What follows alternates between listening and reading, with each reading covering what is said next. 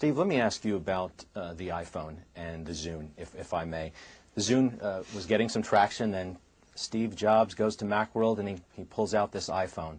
What was your first reaction when you saw that? $500 fully subsidized with a plan. I said, that is the most expensive phone in the world. And it doesn't appeal to business customers because it doesn't have a keyboard, which makes it not a very good email machine. Now, it may sell very well or not. I, you know, we have our strategy. We've got great Windows mobile devices in the market today.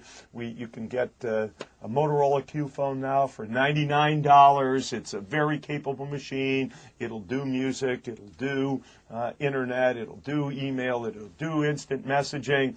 So I, I kind of look at that and I say, well, I like our strategy. I like it a lot.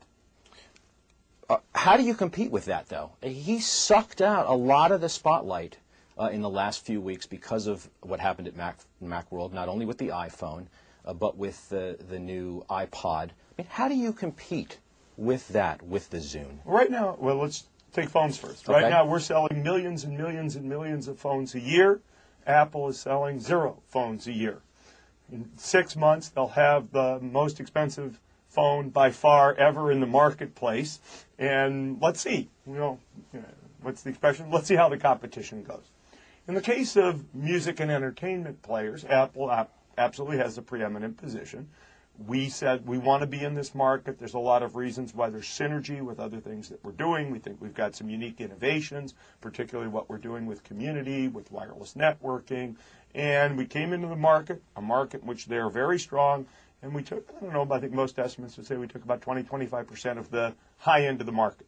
We weren't down at some of the lower price points, but for devices $249 and over, we took, you know, let's say about 20% of the market. So I feel like we're in the game, we're driving our innovation hard, uh, and uh, okay, we're not the incumbent. He's the incumbent in this game, but uh, at the end of the day, he's going to have to keep up with uh, an agenda that we're going to drive as well. And you still feel like you can be very competitive in that space? Sure, absolutely. If we didn't think there was transformation going on, we wouldn't be playing.